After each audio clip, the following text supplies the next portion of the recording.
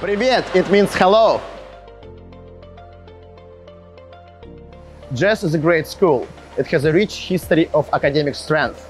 It has a world-class facilities and has fantastic future.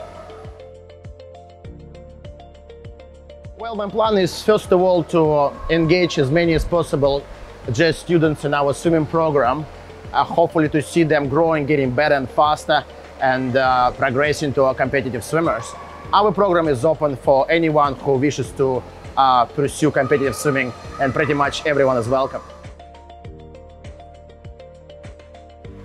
Well, every session it is like a piece of art. I'm trying to be as creative as possible to make sure all our swimmers are willing uh, come back and they enjoy every session. Swimming is not just a sport, it's all about life and all, all about what kids can get out of it.